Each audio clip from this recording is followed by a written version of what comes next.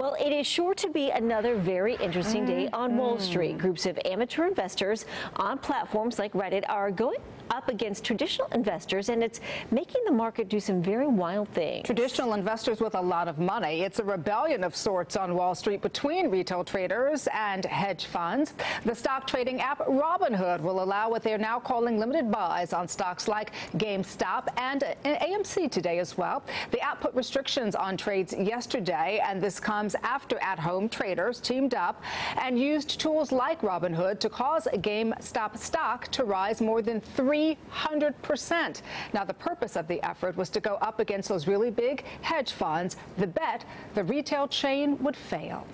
Much of this drama unfolding on social media, and now teenagers are taking notice. Many are turning to sites like TikTok to learn more about the stock market, which could help draw more of the younger generation into investing. Joining us now is Jonathan Weiner, economics and finance senior at Stetson University. Good morning. It is always good to see you. How are you this morning?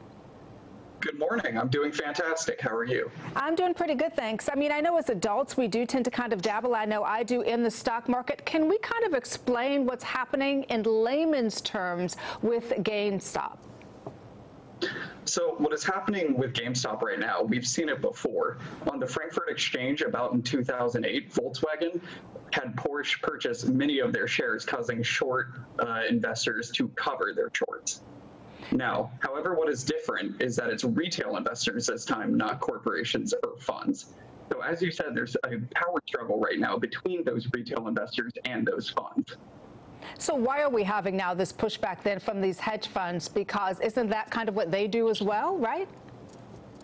Yes, that is correct. We're having this pushback because the rise in GameStop price is causing them to have to pay more every day to cover those shorts. And on top of that, they can also cover their shorts by purchasing those shares, which is also increasing the demand.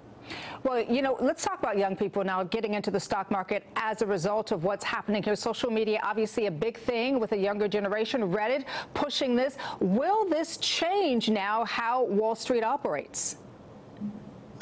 So I believe this push is because many young people want those that independence and freedom of choice in the stock market, and it also uh, gives a depth of learning where you can study for years and you can still learn more every day. And we've also been told that investing is a secret to wealth. We've been told that savings eats your money, which is why they're investing. All right, so we teach our son, our, our, oldest son, kind of how to dabble a little bit in the stock market. We're very, very conservative with him, though, because we understand that he's got limited money, but we want to help him maximize that. I know that you have a trading program there at Stetson University. How does that work?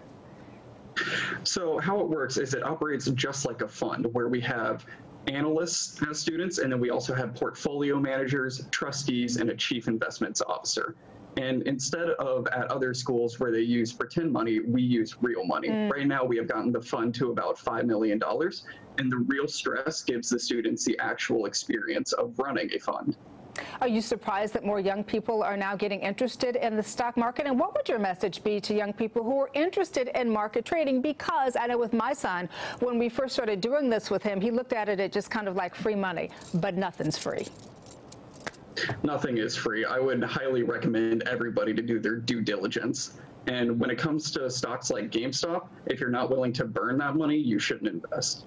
Which is exactly what we tell him, Jonathan Weiner. Thank you so much for the information. We appreciate it. Thank you for having me. My pleasure. Andrea.